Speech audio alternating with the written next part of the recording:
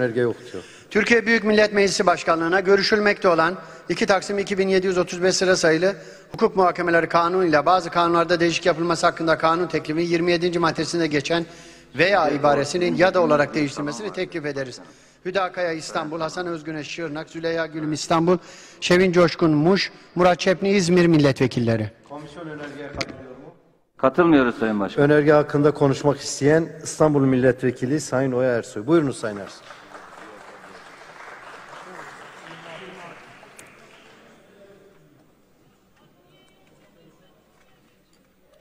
Başkan, yıllardır hukuksuzluk düzeninin tam karşısında mücadele eden, savunmaya ve savunmanın onuruna sahip çıkan, halkın haklarını ve insan haklarını ve hukuku savunan tüm meslektaşlarımı buradan saygıyla, sevgiyle selamlıyorum.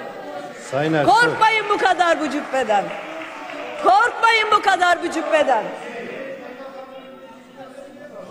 Düzgün konuş Sayın benimle, Ersoy. Düzgün konuş. Sayın Ersoy lütfen lütfen. Tamam düzgün konuşacaksın. Şimdi günlerdir baro başkanları başta olmak üzere bütün meslektaşlarım sokaklarda bir şey anlatmaya çalışıyor. Bir şeyi engellemeye çalışıyor. Ve bugün bugün itibariyle sarayın yasası yasa tasarısı meclise sunuldu. Ve bugün bugün Çağlayan Adliyesi'nde, İzmir'de, Adana'da meslektaşlarımız şu tabloda. Buyurun bakın. Sizin ele geçirdiğiniz o yandaş medya bunları vermiyor. 78 tane baro başkanımız bakın ısrarla söylüyorum. 78 baro başkanı bir gazeteye ilan vermeye kalktı. Ve bu ilanda diyorlar ki baroların bölünmesi, parçalanması bağımsız savunma yerine siyasete ya da başka ortaklaşmalara dayalı sesi kısık, cübbesi düğmeli topluluklar yaratacaktır diyor. Ve bu ülkede yaşayan bütün vatandaşlara sesleniyor.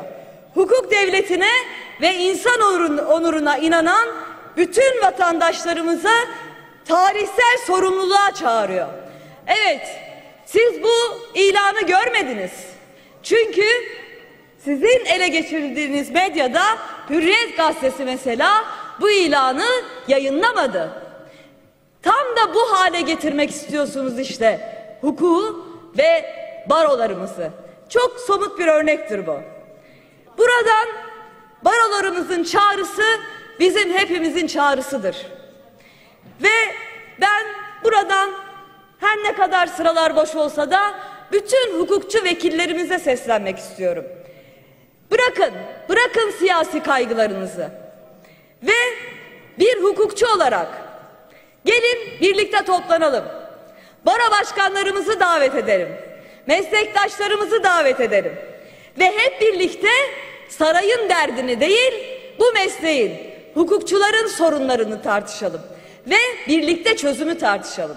Ve buradan bu halkın meclisinden bunun yasaları çıksın. Yoksa sarayın yasaları değil, onun derdi değil. Halkın sorunlarına, avukatların, meslektaşlarımın sorunlarına çare bulalım buradan. Bakın demokrasiden bahsediliyor sabahtan beri burada. Sunarken de zaten bu baro tasarısının, yasa tasarısının demok baroların yapısını demokratikleştireceklerinden bahsediliyor. Şimdi demokrasi demek eşit temsil demektir. Demokrasi demek katılım demektir. Baro başkanlarından kaçırdınız bu tasarıyı. Bırakın Barolar Birliği Yönetim Kurulu üyeleri bile Feyzoğlu'nun attığı tweetten öğren, öğreniyor bu tasarının geleceğini. Geçtim bunları da meslektaşlarımızın zaten haberi yok. Bizlerin zaten haberi yok. Sizin bizzat Cumhurbaşkanlığı kabinenizin haberi yok. Adalet Bakanı'nın haberi yok. Bu mudur katılımcılık? Bu mudur demokrasi? Biz biz demokrasi deyince eşit temsili baro yönetim kurullarında kadınlara yüzde elli kotayı savunuyoruz. Biz eşit temsilden bunu anlıyoruz. Bu meslektaşlarımın yarısı, bu halkın yarısı biz kadınlarız. Ve eşit temsilse evet eşit temsil. Biz bunu savunuyoruz. Şimdi sizin derdiniz ne? Yargı ele geçirildi değil mi? Adli yıl açılışları sarayda yapılıyor. Hazırol'da yapılıyor. Hakimler cübbelerini iliklemek için birbiriyle yarışıyor. Bir de çay toplayanlar var. Savcılar bir talimatla davalar açıyor. Yakalama kararları çıkarıyor. Peki ya savunma? Yok. O hala hala direnmekte. Savunma hala direniyor.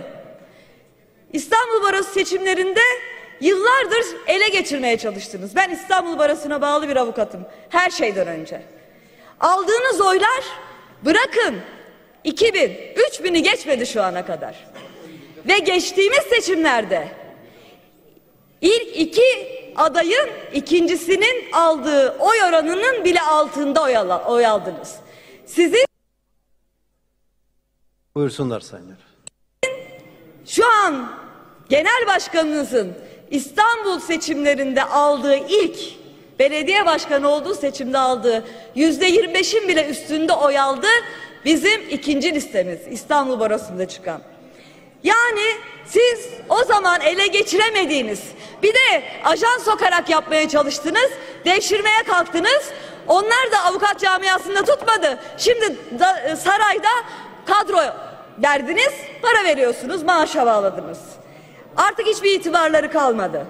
Evet, bütün bunları yaptınız, ele geçiremediniz baroları. Dimdik ayakta savunma direniyor. O zaman diyorsunuz ki örgütsüzleştirelim, bölelim, parçalayalım. Ama biz de diyoruz ki eğer avukatlar susarsa, eğer hukukçular susarsa bu halk susar. Sizin de derdiniz bu zaten. Halkı susturmak için savunmayı ele geçirmeye çalışıyorsunuz. Ele geçiremediniz. Böyle parçalamaya çalışıyorsunuz. Ama şuna inanın bu savunma direnmeye devam eder. Savunmayı durduramazsınız. Bu halk da size biat etmeyecek. Önergeyi oylarınıza sunuyorum. Kabul edenler, kabul etmeyenler, önerge kabul edilmemiştir. Maddeyi oylarınıza sunuyorum. Kabul edenler, Bir tane daha başkanım. Özür diliyorum.